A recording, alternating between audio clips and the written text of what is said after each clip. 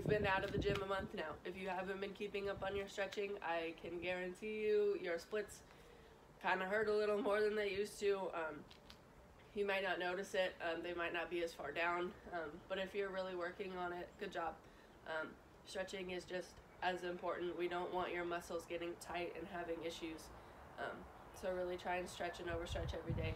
Like I said several videos back, you need to start overstretching every day as your stretch. So do your stretch. But when you would normally do like your splits, overstretch them. When you do your pikes, overstretch them. When you do your um what is it called? Your shoulders and cat, overstretch them, okay? Don't just do the bare minimum. Um, at this point, we need to be doing a little more and taking a little more time to stretch um, during the day, um, especially after conditioning, okay? You can warm up a little bit before conditioning, but you really need to stretch afterwards, okay? Um, you can stretch a little bit before if you need to, but you really need to stretch once you condition.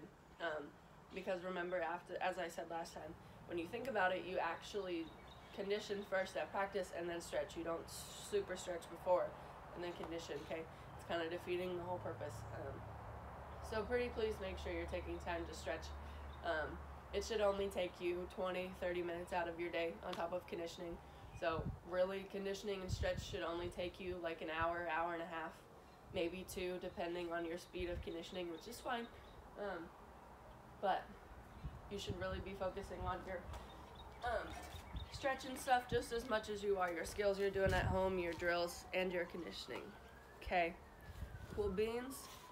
All right, so tomorrow's arm day, and I will see you all